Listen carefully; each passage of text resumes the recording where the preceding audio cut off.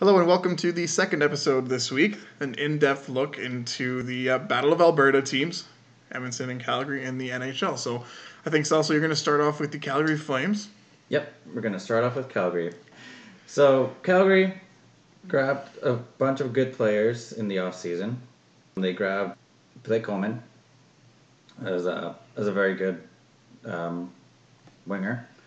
Uh, Trevor Lewis, good depth player. Uh, Nikita Zadorov, Eric Gudbranson, also good depth defenseman. Former Oiler Tyler Pitlick, um, Mm-hmm. Brad Richardson, and goalie Dan Vladar, or Vladar, however you say it. He was a pretty good backup for uh, in Boston. Yeah, he only played five games. Yeah. Um, 2.6 or 3.4 goals against average, actually, and 0.886 in those five games. So, He's still better than uh, Rittich, so. that's true. yeah, that's true. But I guess to back up Markstrom, they brought in Vladar. They did lose, though, Gio to the expansion draft, which is pretty big blow.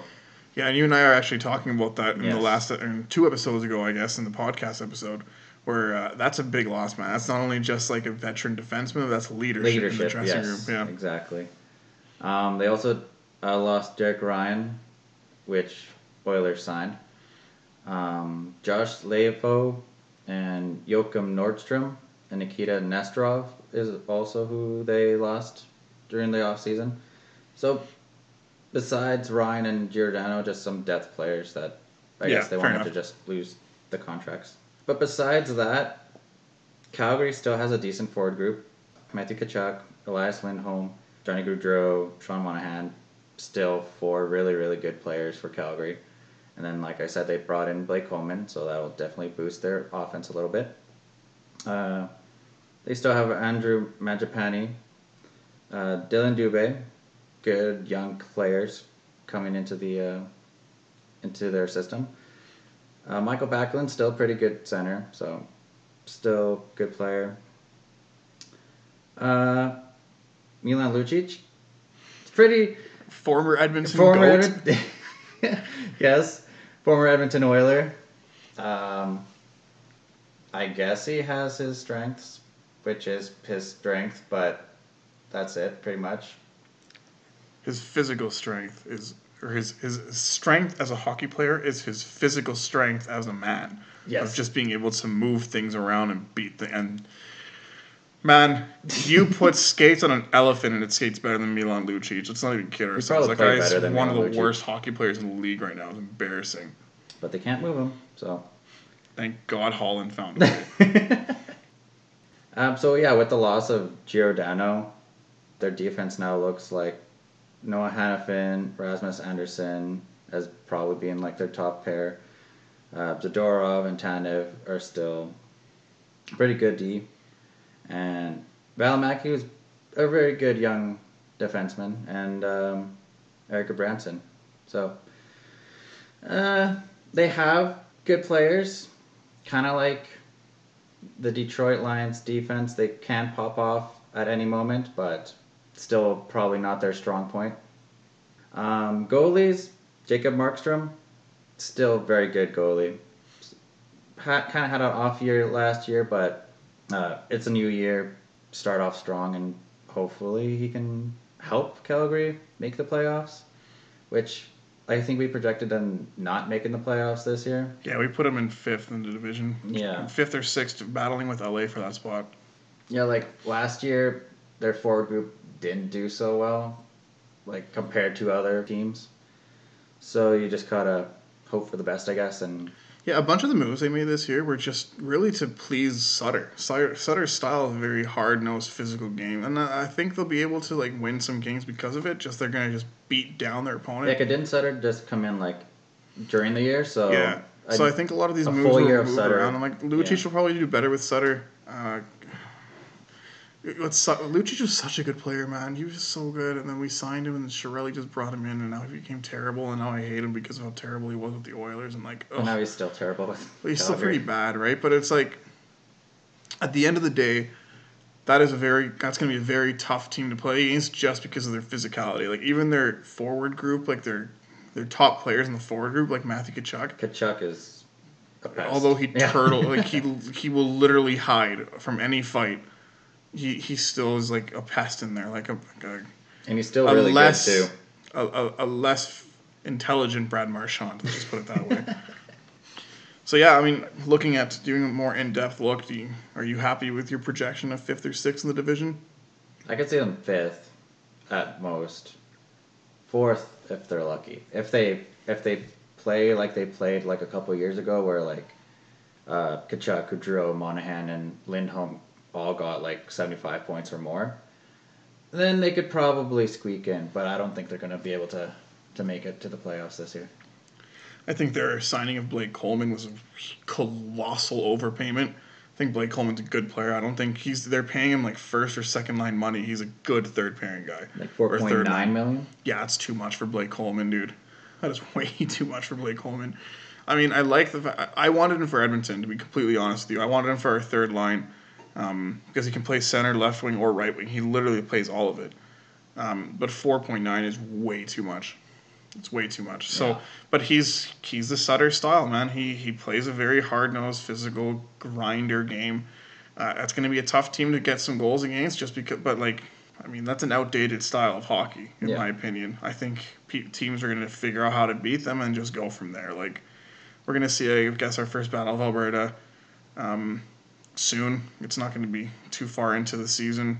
Uh, Sunday they played in the preseason game. Like, we'll, we'll see a few games there, but yeah, I, I agree with you. I, I don't think it's going to be. Uh, I don't think they're a very good team. No, Their defense is their strength. It's still a really good defense, but but other than that, They're not gonna score. once too much. once Markstrom goes down, if he goes down, He's always had injury problems, so yeah. Yeah. Once he does go down, they they're screwed if if he does. yeah, so. I agree.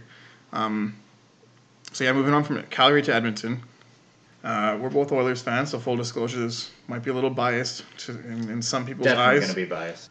So, a couple big moves. The Oilers made a few a, few moves this year. Um, I think they're probably their two biggest, in my opinion, would be the signing or the trade of Warren Foegele, uh, and then the Duncan Keith trade. I think those are two massive ones. Um, a, a, a few other additions. Zach Hyman uh, signing that contract is huge. The re-signing of Ryan Nugent Hopkins was absolutely That's massive. huge. The contract extension of Darnell Nurse was huge. Signing of Derek Ryan. Signing of Cody Cece. The re signing of Mike Smith. And BBMs. BBMs. Yamamoto. Oh, Yamamoto signing. Yeah. Signing of Yamamoto's a nice deal as well. And then Devin Shore. Um, those are some pretty big acquisitions uh, made by the Oilers or signings. They did have a few losses though. I think their their loss of Adam Larsson will be it's really going to show. I think this year, um, and I think honestly, so they didn't re-sign uh, Jujhar, who went to the Blackhawks. Dmitry Kulikov left for the Wild. Um, and I, again, the biggest loss in my opinion though is going to be Larsson. I think that's a big one. I mean, most a lot of their depth guys went and signed over in Europe or different NHL teams, but I think the Oilers' depth is forward is, is a strength now as opposed to in the past where it was a weakness. Forward is probably like one of the strongest maybe in the NHL.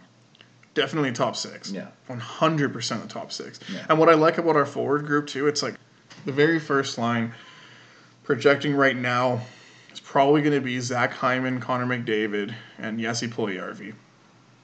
Um, Puljujarvi McDavid together last year have shown they play really well together. Puljujarvi's a big body. He took some, uh, if I'm not mistaken, he took some boxing lessons over the summer. It's like he's learning. how- yeah, he's so he's like learning how to just you know Just I think that's going to help. Well, stand up for himself, but I also think that's just part of learning how to play a more physical game. I think is a huge. A, a, that can't be understated. So that was yeah, that was a big. That's a nice, good first line. Second line, I can very much see it being re- reuniting the Draisaitl Ryan Nugent Hopkins and Kailer Yamamoto line. Oh yeah.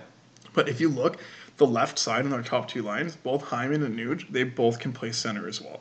So then that's the, that's that line. The third line, as of right now, it's looking like it will probably be Derek Ryan in the middle, a good right shot defensive forward, uh, with Warren Foegele on the left, on the right, Zach Kassian. Zach Kassian really needs to step up compared to what he did last year. I think he, um, I think with fans he'll do better. Yeah, as long the as we stands. as long as we get playoff Kassian with Foegele and Ryan, that could probably be a very good like It's a good line. checking line, man, Yeah. and I think it can still produce because I think Zach Kassian's shot is underrated. I think he's got a really good shot. too. I think Derek Ryan is a good defensive forward that we need desperately, and then um, as a as a right winger, Kassian can play can play pretty well. So, Yeah. but also that's another thing too. Like that center, Derek Ryan can, depending on how Ryan McLeod does, I think it can interchange, right?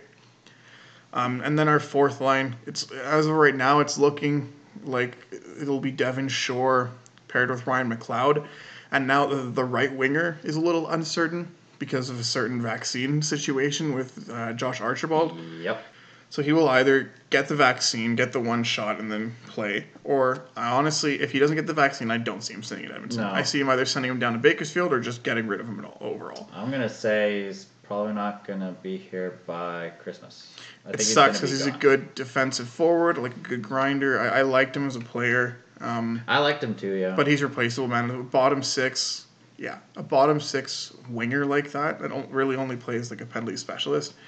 We signed Colton Sceviour to PTO, and they are pretty identical. So I, I won't miss him. it's won't. basically either get the vaccine or you're gone. Yeah, pretty much. So Yeah. that's our forward group. Not bad. Um, and then we have we have we didn't even mention Dylan Holloway, who is out for a few weeks because of an injury. So that's a big loss for us. Tyler Benson is also going to be challenging for a position in the forward group. Um, overall, yeah, I'm happy with the Oilers forwards. Really, I am. Um, the Foegele for Bear trade, I think, is an okay trade, just because we had Barrie, Bouchard already. I don't think we need three offensive defensemen on the right side. Bear is very similar playing style to what I mean, more of a defensive guy than Bouchard, but I do think Bouchard is already better than Bear. I Oh, think he will just yeah. get better anyway. So, and, And I have a lot of respect for Bear, man. I loved him as a player. And Warren Foegele, Foegele, like the way he plays, would definitely help the Oilers Yeah, for sure. we dealt from a position of strength to a position for a position of weakness. Like Foegele can play left and right, a penalty special, a penalty kill specialist who can also chip in offensively. That's something that killed us in the last few years. We had no offense from bottom six, and I think with this bottom six right now, I think so. I mean, even Cooper Marody can challenge for a spot down Yeah, there and Cooper like play some good minutes. I, I honestly, yeah, I feel this could be a good, a good, and, and worst case scenario, we move. Um, Nuge from center or from left wing to third line center, and then we pick we Holloway maybe comes up or Bensman comes up and plays there. Like we have the pieces that can actually change to three offensive lines, right? Yeah. I'm just a little scared for our bottom six right now, and but I think they can do it. It just has to prove it. And then looking at our defense, like our top pairing from last year returns this year, and Darnell Nurse and Tyson Barrie. I think that's a legit NHL top pairing. Um, Darnell Nurse, uh, we I, we mentioned in the Team Canada episode. I think he's a very strong player who can play both offensively and defensively if He had a hell of a year last He had a year. heck of a year, dude. Yeah. Heck of a year. Uh, he played so well. Uh, he's a big dude who will will play a physical game, which is what we need from him. So, and then Tyson Barrie just knows how to provo- how to provide some offense with McDavid, which is it can't be understated. Yeah, he really. was like the leading scorer and defenseman last year. So Our second pairing is probably our biggest question mark. Um, the second pairing right now looks to be Duncan Keith and Cody Cece. I think I think Keith still has a lot to prove and still a lot of hockey to play. Um, I don't think he's going to play for another ten years, but I do think he, he'll finish out this contract, and I think he will play quite well. I think he's no longer a first pairing defenseman, similar to OEL in Vancouver in our last episode that we talked about. But I do think Duncan Keith is a very good second pairing guy. Um, everybody looks at his Chicago numbers like, yeah, okay, dude, Chicago's a terrible team in the last couple of years. Like they were a bad team, especially last year. They weren't Yes. great defensively, but he was always paired with a young guy out there. Like it's, the numbers show that with Duncan Keith, with the more proven, more actual, like legit NHL player on his side, like an old veteran, they play a lot better. So Duncan Keith, I think his intangibles that he provides are like massive for this team as well. So I think that will be a big, a big plus for the Oilers. And then our third pairing right now, the only certain one is Bouchard on the right. I think that's the only thing we we're certain about. I do think his left pairing, uh, I think it will be Slater Koekkoek. That's what I'm thinking too. Yeah. Dave Tippett mentioned in his media availability that they actually asked to be putting Easton McDavid line all all training camp, and it's a lot of respect because you know what, if you can shut down McDavid, you can Then- shut down almost everybody else Yeah. in the league, right? So. I think Koekkoek and Bouchard are a good pairing. I think Koekkoek's like a nice veteran presence, a stable guy back there to, to be able to help provide the the mentorship that Bouchard needs. I think Koekkoek plays better with um, yeah, I think Koekkoek will play a little bit better with uh, Bouchard than Keith would in that position. I think Keith is a better defenseman, but I think Bouchard, or sorry, I think Koekkoek is a better fit to play with Bouchard, just for the, his style of game. Um, Yeah, I can see that. um, another thing too, so the subtractions from the blue line we mentioned Bear earlier. I mean, I, I would take that Bear. I take Bouchard over Bear, so that's okay with me. Um, and then next, another subtraction was Caleb Jones, but I take I take Keith over Jones every day of the week. I would too. Hun- Like Jones could play both sides, but Keith's veteran leadership, Keith's winning pedigree, like all of those things are things you cannot take away from that man. Yeah, like that Keith trade. I liked the Keith trade. It's just like a lot of cap hit's a people. lot. Yeah, his cap yeah. hit. yeah, and I agree with that. I think his Yeah. cap hit is huge, but uh, at the at the end of the day, like you're paying for all those intangibles, and I think he will be able to provide leadership to help our core right now. I think he, Nurse, Draisaitl, Nuge, McDavid are all going to become better hockey players and human beings after playing with Keith and just learning from Keith. So those are huge. Uh, and then now we're going to get to the goalie. So actually, correction our depth in, in defense is pretty decent too. Like I didn't even mention. So Chris Russell, like right now, is probably penciled in as a number seven. But we have a William Lagesson who's pretty decent. We have Lagesson. Philip Broberg who's who's starting to you know work his way Work his up. way up, I do yeah. think he starts in the minors. I I'm really excited to watch the Bakersfield Condors this year. Honestly, if Broberg can like steal a spot, I wouldn't. I wouldn't mind. But I would. Yeah, like like, like you said, I would definitely rather have him start in Bakersfield. I think he starts in Bakersfield solely because if he makes the team, it's either the seventh D. I don't want him playing No. seventh D minutes. I want him playing top pairing in the minors or as a sixth D. But I don't want a, a Bouchard Broberg pairing this year. I want that in three four years. I don't want that this year. Yeah, no, I agree. I agree. So, um, Broberg is, is coming up there. Samorukov just broke his jaw, but he's a pretty good prospect. It's going to be coming up too. We don't have many on the right side, unfortunately, but I think our right side is set for the future for for a decent amount at least. For a decent amount of time, yeah. yeah. Because we signed Cece to like a multi-year. Yeah, deal. four years. I think it's a little bit too much money, but you know But, what? like, we needed a guy, gonna- so and he's a we're gonna- defensive shut. He's a defensive guy too, right? And if we're gonna develop our defenseman, then that's. I would say that's totally fine. Yeah. So I think that's decent. I mean, so looking at the goalies, I mean, we have our starting goalie is Mike Smith. Mike Smith played last year exceptionally well, and he aged one year between last year and this year.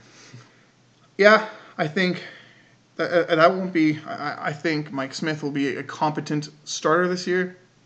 I don't think it's realistic to expect the same numbers and the same stuff as last year, but I do think it is realistic to expect uh, him to not have like a significant regression. So Yeah. I, I'm happy with with how they're with with the starter, the backup situation. So unfortunately, Alex Stalock has a heart condition due to COVID, and he's unable to play this year. Probably will never be able to play again, unfortunately. So I would have rather have him. and that's what I was about to say. Like Stalock and Koskinen, we're gonna fight for that second, for that backup position, right? So, super unfortunate that ended up happening. Um, I feel for the guy, man. I, I really, really, really do. Um, but looks like right now will be Mikko Koskinen and Mike Smith. I'm, I'm thinking. So we have two guys in the, in the system: Stuart Skinner, and then that um, that. Russian kid Konovalov. Uh, both of those guys, the Oilers, I think. So the Oilers didn't draft that uh, the Wallstrat Wallstedt. Wallstrat, and I think it's because they they feel really good about one of Konovalov and or Skinner. Uh, Konovalov had some really good numbers in the KHL last year once he was healthy.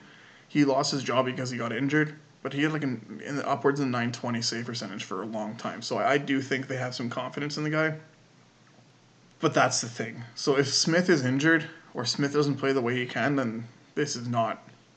This will not go well this year. Not Just I'm like- not going to sugarcoat it. Just this like most terribly. of our Western Canadian teams, if the starter goes down, then and that's like most of the NHL teams too. I think. Think most most teams have like the, their start like for example like Tampa Bay. If Vasilevskiy goes down, it's a big dip between Vasilevskiy and their backup, right? Like, I think it's I guess, but yeah. but last year Smith was a position of strengths, right? But I think with our with our more more depth in the forward group, um, our defense I think is a little less physical, but I do think it is better than it was last year. Just with the additions of Keith in that second pairing, I think he's a huge upgrade to either one of uh, Kulikov or Jones. And then Yes. um, bringing Yeah. Barrie back, Cece and Bear, I think they're actually quite similar players. So I do I don't think that's necessarily a downgrade. And then bringing in Bouchard is I think huge for us. So Cece is a downgrade for to Larsson though. I'll be completely honest. Yeah, downgrade to Larsson, but still, But Cece and Bouchard are both upgrades to Bear. yes. Uh, that's nothing against Bear. I have nothing but respect for the guy. He's he's an unbelievable hockey player. He represents his his uh, His community. his community so well, and they should ever everybody here in Edmonton and in his his community should be unbelievably proud of him. Uh, but I, I I do think it was, I think he was a bit of a surplus, and I'm okay with the trade. I know Oilers fans hate one for ones, but it was a good one for one in my opinion. So a decent one for one. I'm happy with it. I think Foegele is, is what we needed. So I think that's what uh, that that was. That brings us to the Oilers. I, I still think they'll finish second. I think they'll be challenging for that first spot with Vegas. It all depends on injuries, man. It all depends on. I think the Oilers' forward depth is, is much better than it was in years past. I think that's going to be a strength of ours this year. Uh, it all depends on how Tippett uses everybody, honestly. Yeah. Um, And as long as everyone stays healthy. yeah, I mean we're always gonna have injuries, right? Like I think our biggest our biggest injury is going to like Nurse is going to be our biggest guy. Nurse Smith and obviously McDavid, but even McDavid, man, like Darnell or sorry Leon Draisaitl can be the number one center and Nuge can move to second, Second pairing, line, right? Like yep. I, I don't think like. No, again, McDavid's the greatest player in the world right now. I don't think there's anybody who can argue that. Um, but I, I do think the forward depth is enough to where we can mitigate a small Yeah, two game depth- loss or Yeah. another suspension for elbowing a guy for whatever reason. Like, It's Yeah. just yeah, more defense and goaltending that yeah. just so to be a little scared of. I completely agree. So, so yeah, that's uh, that's our recap of the Battle of Alberta. It's going to be an unbelievable hockey season. Very much looking forward to it, and I guess we'll look at the end of the season to see how our projections did.